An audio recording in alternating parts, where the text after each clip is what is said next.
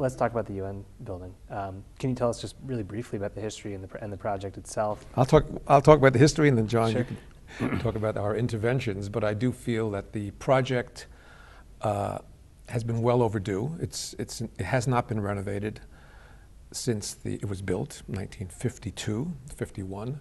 Uh, and it's because the UN has a growing mandate to spend its money in places where there's poverty or earthquake or warfare or all the things that the UN does. Uh, Mayor Giuliani came to the UN after 9 11 and said, I am not going to send my firefighters into your house if you have an event uh, because it's not safe and we don't, it's not, it's not up to code. And all buildings, although you're not in New York City, you do rel- re- rely upon the first responders.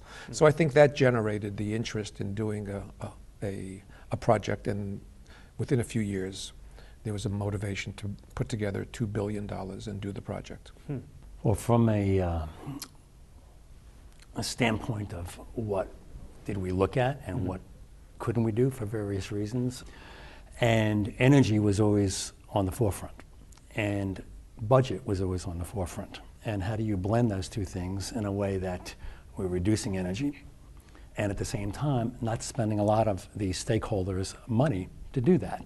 So, you know, as an example, um, we looked at the skin and we reduced energy by well over 50% within the overall building. And we did that through an insulated glass assembly. And we did that through, you know, shading on the outside with blinds. We did that through lighting levels that got modulated up, up and down. We did that through efficient eh, mechanical engineering systems. But we did look at elements such as a double wall assembly on the outside. And you know, that proved to be very costly for a number of reasons, whether it be the imposition of load on the structure or the cost of a double layer glass, when in fact we could achieve something that was more than fine based on what we have in place now. Are there other parts of the design that you find particularly innovative, interesting, applicable maybe to other projects? The sandwich between the top of the deck and the ceiling was about two foot 11 inches.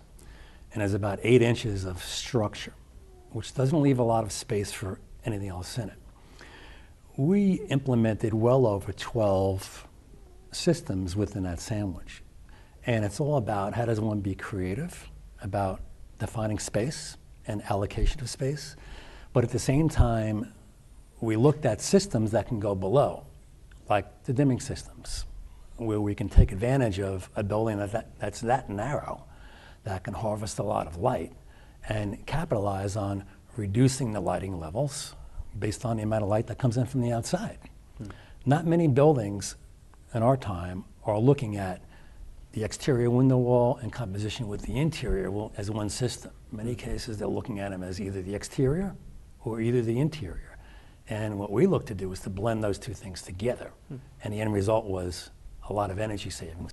What do you think should be done with the massive stock of mid-century office buildings primarily, or just the massive stock of outmoded um, buildings that we find ourselves dealing with, especially when it comes to energy efficiency? Uh, the reality is, is that the marketplace is actually looking at those buildings as prime real estate. And why is that? Predominantly because they have higher floor-to-floor heights in many cases, yet at the same time they have much larger footprints. Um, a lot of those buildings were built when the codes were a little different.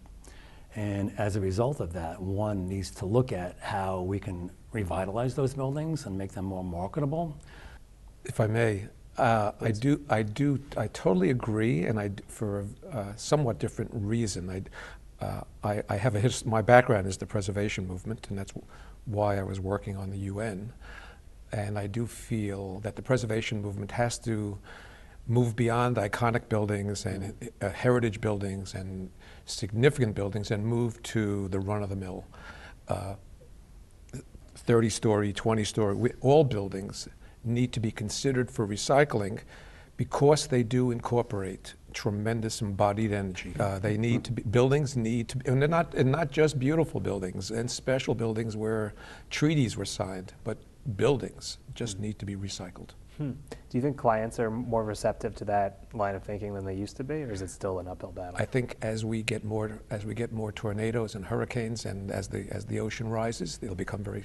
Everyone will become more receptive. What do you think is the most under-addressed issue in tall building design, development, management, um, and how would you address it? Something that's not being talked about or not being talked about enough or in the right way. When does a tall building end? Uh, buildings, uh, short buildings have a sort of known life, and it's when the real estate values overcome the value of the building, and then you, you're, you're better off using that land for something else. Every building has a life has a lifespan. It, nothing's infinite. Uh, tall buildings obviously have a long lifespan, but there is, but it is finite. And the issue is when figuring out when that is, or the And- demolition of it, And how do you do a tall building removal in an urban, tight environment? It, it could be incredibly expensive.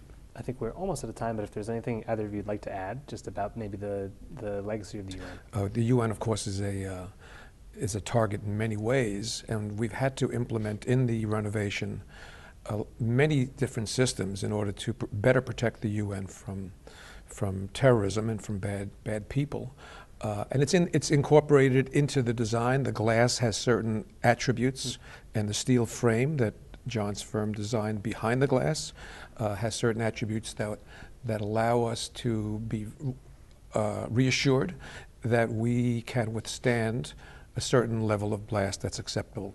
Uh, but I do think that uh, it's, it, it's, a, it's a messy world. I think blast has become, and I know from our consultants who do only blast, that it's, uh, the corporate world is now looking more and more at safety for their own hmm. organizations because everyone has a certain exposure.